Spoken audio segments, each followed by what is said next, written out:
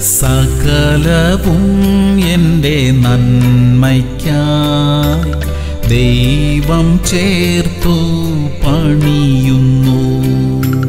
അതിമഹത്തരമാം വിധം കരുതുന്നവനെന്റെ ഭാവിക്കായി.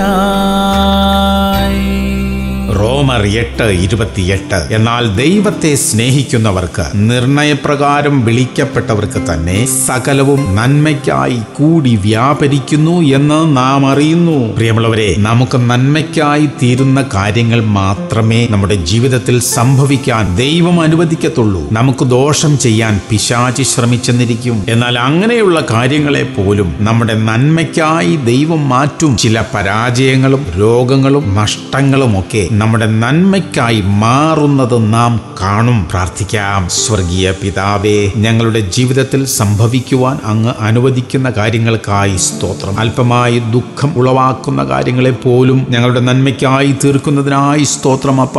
യേശു ക്രിസ്തുവിന്റെ നാമത്തിൽ തന്നെ. അമേൻ അമേൻ ആമേൻ.